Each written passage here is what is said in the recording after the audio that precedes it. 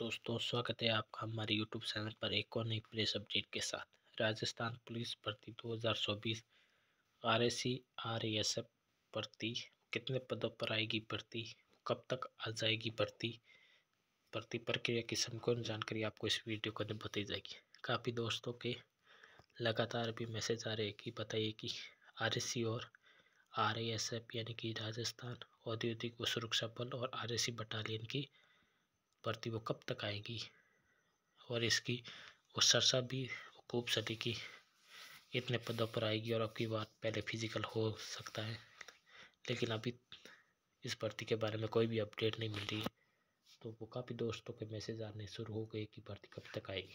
तो दोस्तों, मैं आपको बता देता हूँ कि आर सी आर एस की भर्ती आपको लगभग लोकसभा चुनाव के बाद जून या फिर जुलाई के अंदर आपको R A R A C R A सब की भर्ती देखने को मिल जाएगी। यानी कि जून से जुलाई के बीच ये भर्ती आ जाएगी।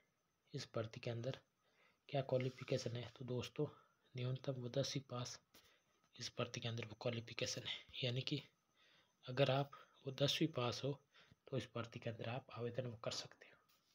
तो यानी कि वो दसवीं पास इसके अंदर वो क्वालिफिकेशन है। और अब की बार सुनने में यही आ रहा है कि पहले इसका फ़िज़िकल हो सकता है। यानी कि बड़ी अपडेट के अंदर यही है कि पहले आपका तो फ़िज़िकल हो सकता है। तो फ़िज़िकल अब की बार पहले हो सकता है। और भर्ती आपकी जून, जुलाई के अंदर आ जाएगी।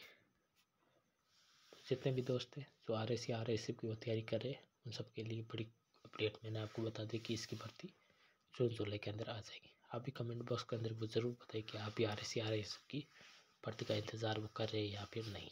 थैंक यू जय हिंद, वंदे मातरम।